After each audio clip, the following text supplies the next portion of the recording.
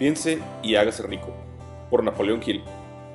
Recuerdo que cuando era niño, mi padre me dijo que existían varios tipos de pobreza. La pobreza alimentaria, la pobreza monetaria y la pobreza mental. Henry Ford y Andrew Carnegie nacieron y crecieron en lugares muy humildes y no tuvieron una educación formal. Los dos hombres pudieron haber padecido de pobreza monetaria e incluso alimentaria, pero nunca de pobreza mental puesto que ellos revolucionaron y crearon industrias, dejando un gran legado a la humanidad, utilizando uno de los principios de este libro, el pensamiento. En esencia, el pensamiento es algo diferente a un sueño. Los sueños por sí solos son solo una ilusión que muchas veces se dicen en voz alta, pero el individuo nunca se esfuerza en convertirlos en realidad. Pero los sueños acompañados de pensamientos es diferente puesto que a estos se les debe dar forma, color, acción, un camino e incluso protección de todos los obstáculos a los que se pueda enfrentar.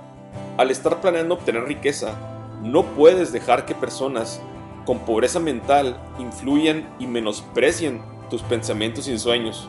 Recuerda que aquellos hombres y mujeres que han dado su talento para construir nuestra civilización con aviones, automóviles y descubrimientos médicos, tuvieron un propósito definido y un deseo ardiente de conseguirlo.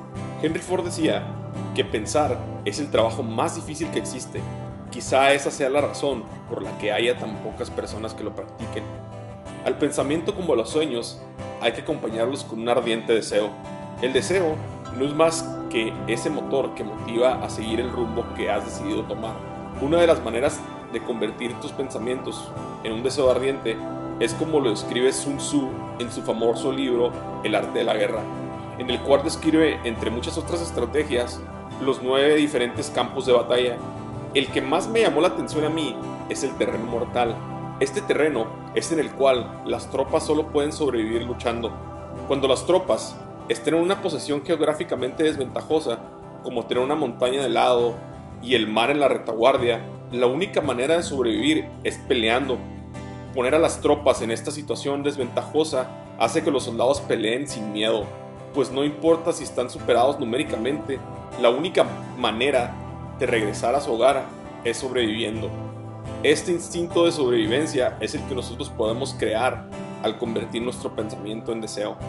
Al ponernos nosotros en esta situación, no tenemos la posibilidad de fracasar, nos obliga a hacer todo lo que está en nuestro alcance para lograr nuestro objetivo. Otro ejemplo que da Napoleón Hill en su libro es que hay muchas personas que se dan por vencidos muy rápido y no logran alcanzar su objetivo. Cuenta una anécdota que había un minero en las montañas de Colorado en Estados Unidos que había descubierto oro en la superficie de la montaña. Él estaba seguro que si escarbaba unos metros más encontraría más oro. Pasaron los días y meses después de su primer descubrimiento y no encontró nada. Por esta razón, se dio por vencido y se retiró. Meses después, fueron a revisar la montaña unos ingenieros y al hacer varios estudios concluyeron que a solo un metro de distancia de donde estuvo el minero escarbando por última vez se encontraba el oro. La moraleja de la historia del minero es que se debe tener una constancia y perseverancia de terminar lo que se comienza, sin importar los pequeños fracasos que encontremos en el camino.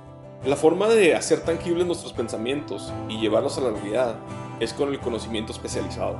Este es el punto donde se deben de llevar los pensamientos a las acciones concretas. Hay una gran diferencia entre estar soñando en tener riqueza y otra muy diferente es hacer lo necesario para que estos sueños se conviertan en realidad. Conozco muchas personas que pasan la mayor parte de su tiempo libre viendo la televisión o viendo el fútbol saben guiones completos de la serie de moda y presumen haber visto una serie completa en menos de una semana. Otros presumen saber todo acerca del fútbol, saben las tablas generales de todas las ligas europeas y locales, saben con santo y seña cuántos goles se metieron y en qué forma.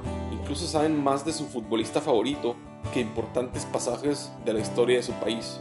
Este conjunto de cosas es las que están confabulando en su contra para generar riqueza. Y es donde entra la siguiente pregunta.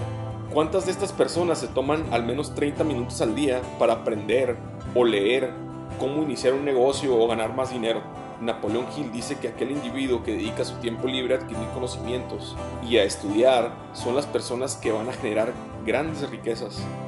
Así que ya sabes, Lo que haces con tus pensamientos y tu tiempo libre define la persona que eres y en la persona que te convertirás. Muchas gracias por ver este video.